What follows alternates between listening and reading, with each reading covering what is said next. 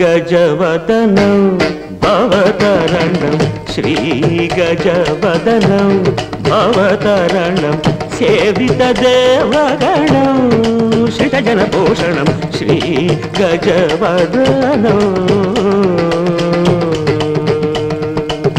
శ్రీమద్రమారమణ గోవిందో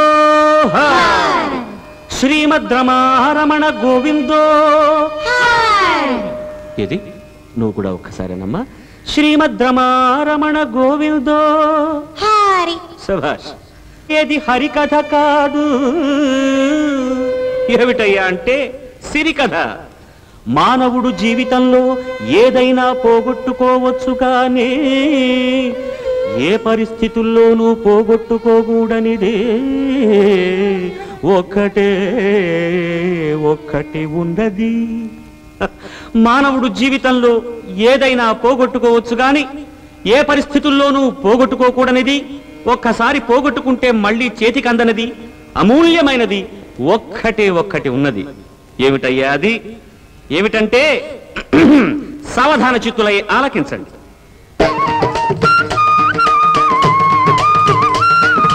అమరావతి పట్టణ మేలుచుండే అమరేషుదను రేడు. అమరావతి పట్టణ మేలుచుండే అమరేషుదను రేడు. అతను ఎలాంటి వాడయ్యా?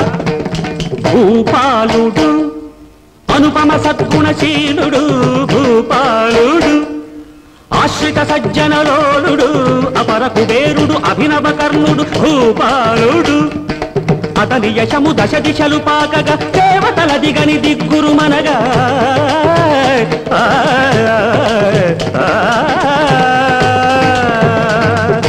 ఆ, మహారాజు గొప్పతనానికి అసూయపడ్డ దేవతలు ఏం చేశారయ్యా అంటే శనిని పిలిచినారు శనైశ్చరుని పిలిచినారు.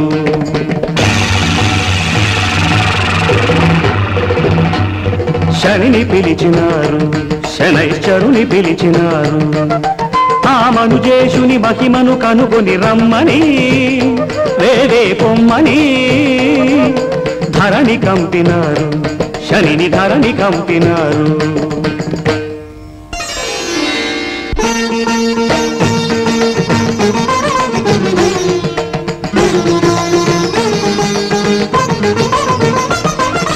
అహో భూపతి వింటిని నీ కీర్తి.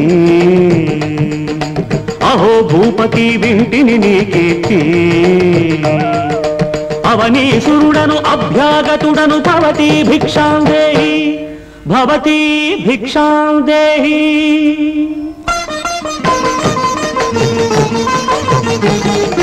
బ్రాహ్మణోత్తమా అభివందనము నీ సత్కారము నా నిత్య ధర్మము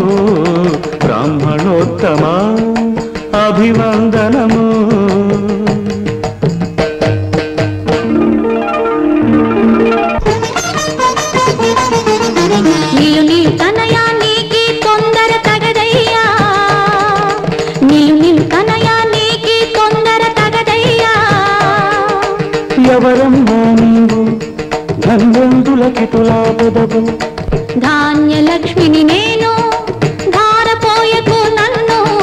ధాన్యలక్ష్మిని నేను ధారపోయకు నన్ను. ఆ కపట బ్రాహ్మణుడు నీ కలిమిని కీర్తిని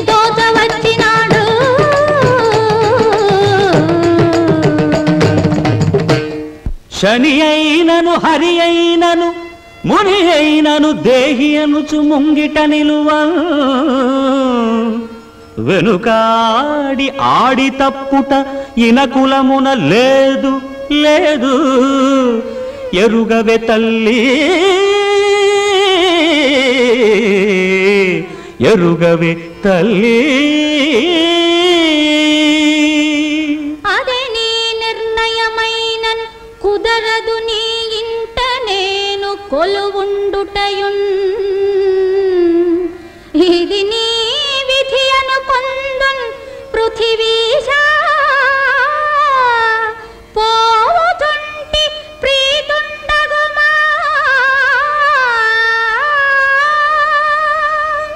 పృథివీశ పోగుచుంటి ప్రీతుడగుమా పృథివీశ పోగుచుంటి.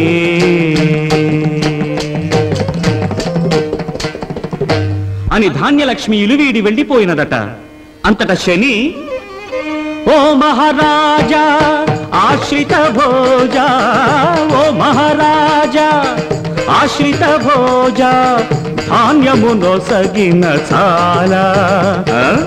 ఆ? ధనము నీయవలరా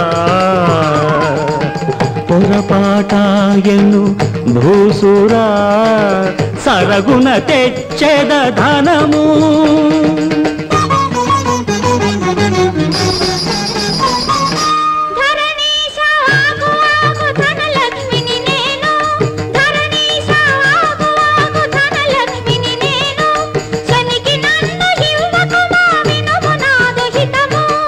మాట తప్పలేను నీ మాటను వినలేను. మాట తప్పలేను నీ మాటను వినలేను. విడలేను దాన గుణము వినుము నాదు శపథము. అనగానే ధనలక్ష్మి కూడా ధాన్యలక్ష్మి దారినే వెళ్ళిపోయినదట. శని అడిగింది అడగకుండా ఇంకా అడుగుతున్నాడట. మహారాజు అడిగింది అడిగినట్టే ఇచ్చాడట. ఆ విధంగా అష్టలక్ష్ముల్లో ఏడుగురు లక్ష్ములు వెళ్ళిపోయారట.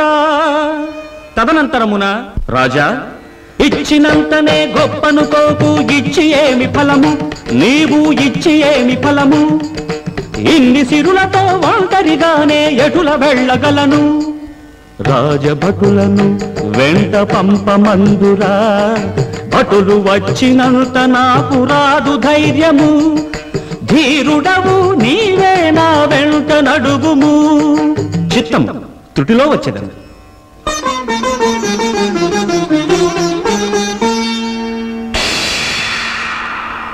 ఓయి రాజా అన్ని లక్ష్ములను నిర్లక్ష్య పరిస్థితివి నీవు.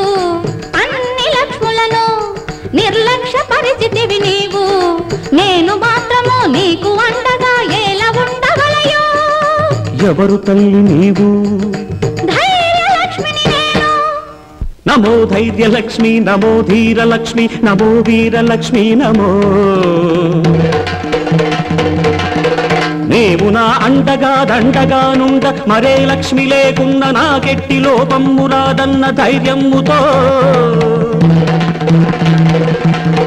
సప్తలక్ష్మీ వియోగము సైతము నిర్లక్ష్యము చేసి రాజ్యము గీజ్యము పోయినందాని నిను నేను పోనిద్దునా? పేదరికమైన భరింపగలగాని పిరికినై జీవింతునా? కాన ఇంత నిలకడై నీవుండగా? గీటు గీచి తినిది నీవు దాటరాదు సూర్య చంద్రులపై ఆన చుక్కలాన నీ పదమ్ముల నా నిత్య సత్యవ్రతముపై ఆన సకల దేవతలయాన